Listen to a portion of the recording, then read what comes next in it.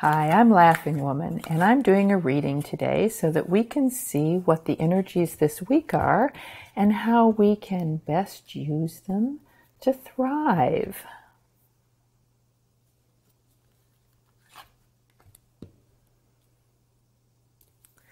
The first card is the Mystic of Earth, Frugality.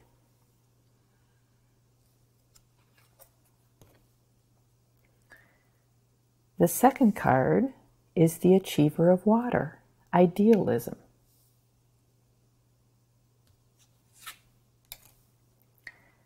The third card is Eight of Air, Tradition.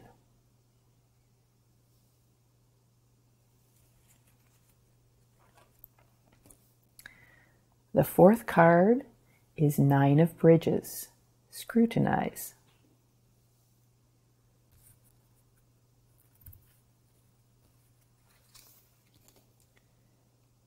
And the fifth card is Nine of Air, Distortion. So we begin our week by holding our energies close to ourselves.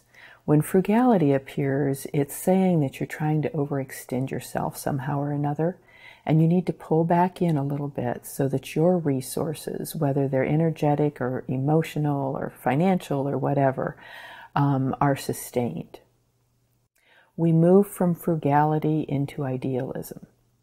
So, what this tells me is that by pulling our energy back to ourselves a little bit, we get, re- we, we get re engaged with our ideal view of life and what we really know the situation we're dealing with can become. From idealism, we move into tradition at the middle of the week. Now, tradition simply is that which we already do, we know how to do. It's probably done by a number of people, but maybe it's just us. But it's a routine that we do. So we're taking our idealistic view of whatever we're looking at and we're putting it up next to tradition and seeing how within our comfort zone, within our known way of being, we can actually invoke that ideal and live it we move from tradition into scrutinize, the nine of bridges. And scrutinize says look very carefully at the details. Whatever your plan is, you need to make sure that all the details support you in getting where you really want to go. After scrutinize, toward the end of the week, we're at nine of air, which is distortion.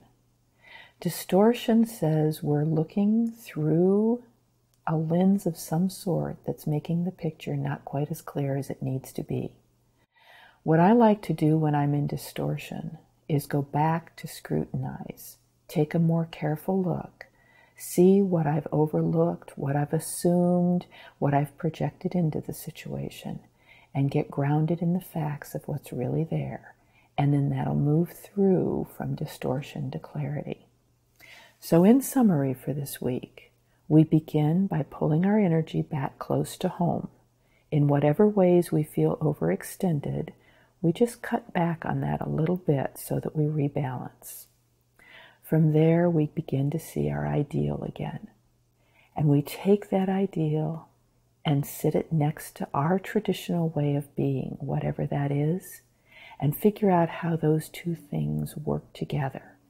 How can we create that ideal and stay within our tradition. From there, we take a good look at all the details. Looking at those details tends to distort the picture a little bit. So, I want to suggest that when you're confused about what's out here at the end of the week, go back and scrutinize the details a little bit more. And then you can move through the distortion and figure out where, where you really want to go with this week's energies. Have a wonderful week.